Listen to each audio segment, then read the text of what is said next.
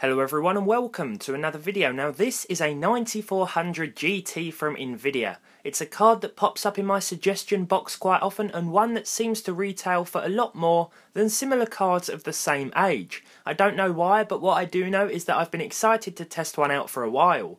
Launched in 2008 for as little as $59, this was an entry level solution that came in a few memory variants including 256MB, 512MB and 1GB with this one sporting 1 gig of DDR2, although there is a 256 meg GDDR3 version that would have been a little faster. The 1 gig option was unnecessary for a budget card of the time and was likely a marketing gimmick, similar to how some low end cards today have totally unneeded amounts of VRAM. Other specs include just 16 CUDA cores, a 550 MHz clock speed, and a 350 MHz memory speed, with a 300 watt PSU being recommended. Having no external 6 pin requirement means that you could probably run it with a much weaker one, making this an ideal video adapter for a low power and small form factor PC. As for gaming, it lacks DX11 support for modern titles, but how does it hold up against some of the latest and most demanding DirectX 10 games available? I've paired it with a Ryzen 3 1200, although even a fast Core 2 Duo would allow this thing to reach its maximum potential. Let's test some games. So it was time to take to the water first with Assassin's Creed Black Flag. This is a pretty tense and system straining level, as you can probably tell by the solid 10 FPS that we were almost able to maintain with the low settings at 800 by 600. Being a passively cooled card though it stayed very quiet, leaving me to enjoy my Assassin's Creed experience in peace, albeit with a slightly lower frame rate than I'm used to.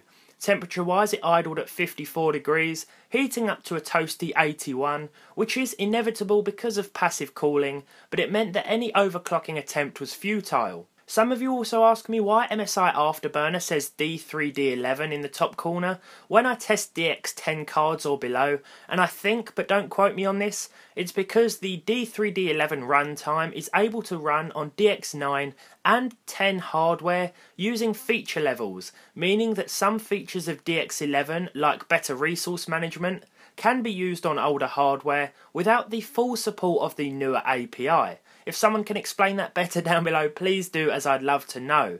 We tried Bioshock Infinite next with 640 by 480 resolution and the very low preset.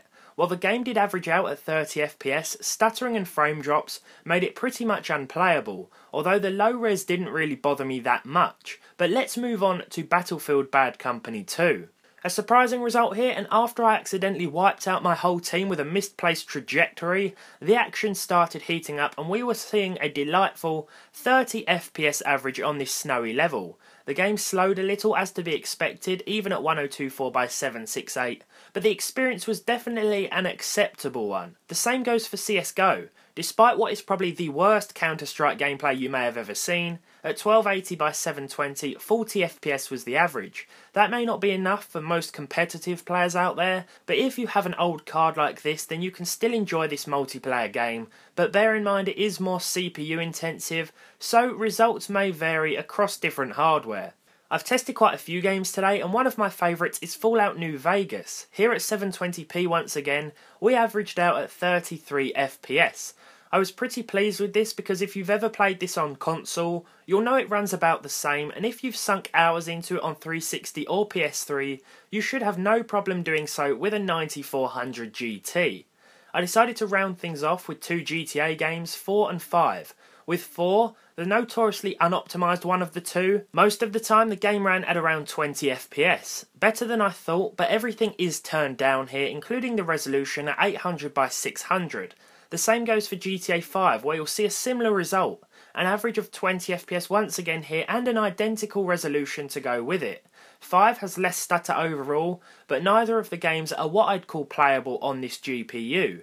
You will, however, be able to enjoy older and less demanding games without too many issues. Thing is, Putting a card up against games that wouldn't have existed when it came out make it more interesting because it allows us to conduct the ultimate test of time and longevity. Do you have a 9400 GT in your system or have you ever used one? Let me know down below as well as leaving a like if you enjoyed it, a dislike if you didn't and clicking subscribe if you want to of course.